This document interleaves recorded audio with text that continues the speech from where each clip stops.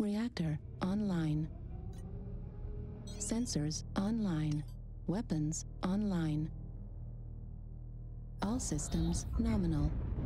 Hey, what's going down everyone? Max Carnage here, and earlier today I managed to get in some crazy 12v12 games on the test server, and I think I preferred over 8v8 even though most of my games had like 3 to 4 DCs, or they ended up something like this.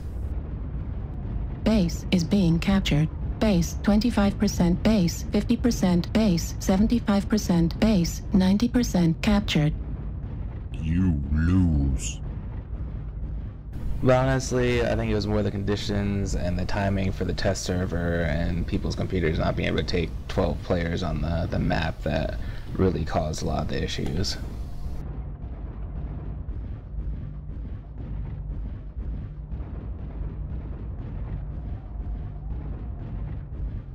One thing I thought about almost immediately was that having teams of 12 instead of 8 means it's a bit harder to solo the entire other team with a few of your friends.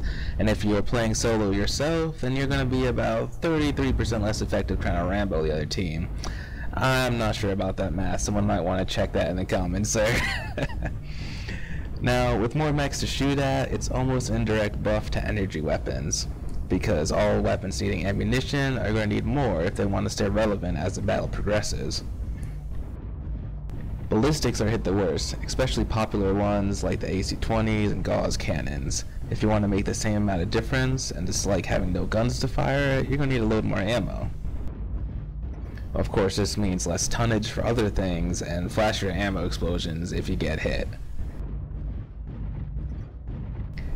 This could mean more dark days for Jaegermech fans, as PGI has a lot on their plate at the moment, and I haven't heard anything about buffs to ammunition capacity.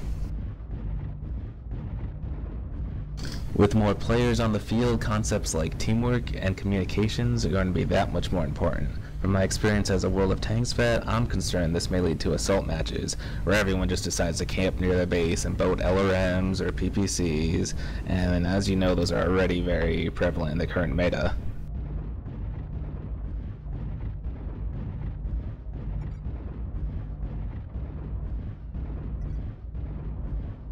However, there may be some hope because I saw a dev update today concerning building specifically, and while I may not agree with the complicated solutions proposed, it should work to reduce PPC building at the very least. They might even be buffing SRM damage and fixing light mech hitboxes, apparently, proving they do pay attention to the community, so cut them a little slack, guys. I mean, personally, I'm just happy we got another giant mech game and we can blow up other giant robots. What's more fun than that, right, guys? Uh,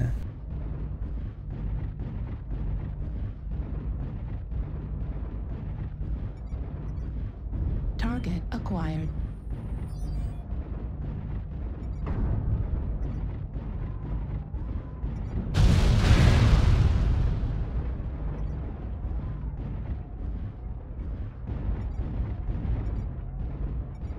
New target acquired.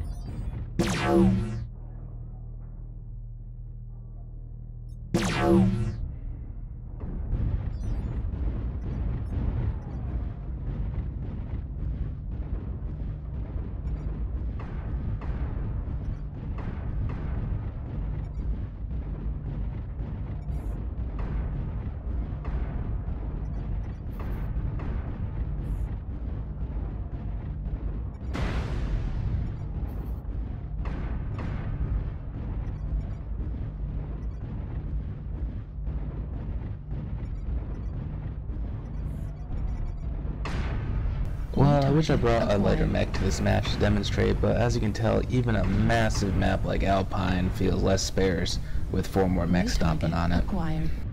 Smaller maps feel almost like arena battles, and I think there will on average be a lot more brawling and less base capping in these crowded conditions. Because nobody likes playing capture mode in Assault.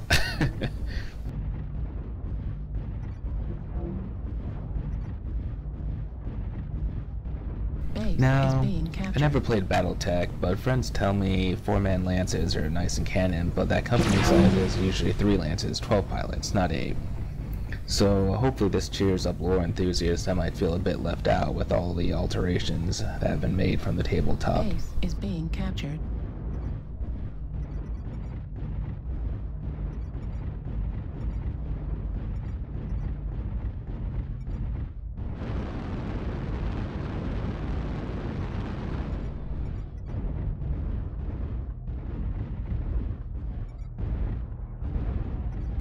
Well, after five minutes of walking and talking, I guess I should probably shut up for a bit and uh, shoot at the other team. 25% captured.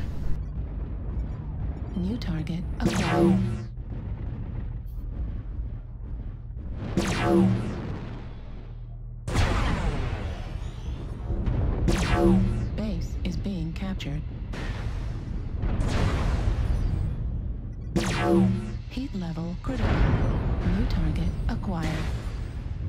Heat level critical.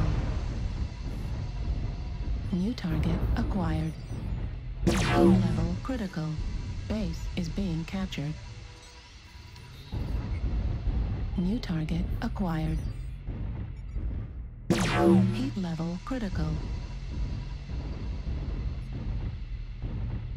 Heat level critical.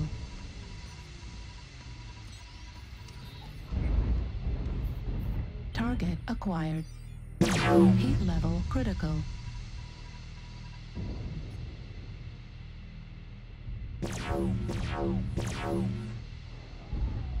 Base is being captured. New target acquired. Heat level critical.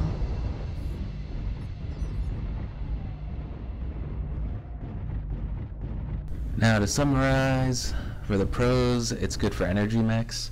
The maps seem more alive, especially bigger ones like Tourmaline and Alpine. You're going to make more money if you manage to stay alive because you're going to get more equipment destruction. I'm not sure if they're going to alter those numbers at all. Of course, it's bad for ballistic weapons. I mean, that much is obvious. It could be very camper friendly, and it's not so great for people who like to play solo. Well, that wraps things up. Think I missed an important point or you have an alternative opinion on this subject? Please let me know in a comment below. And as always, if you enjoyed my video, please like and subscribe. Thanks for watching, everyone.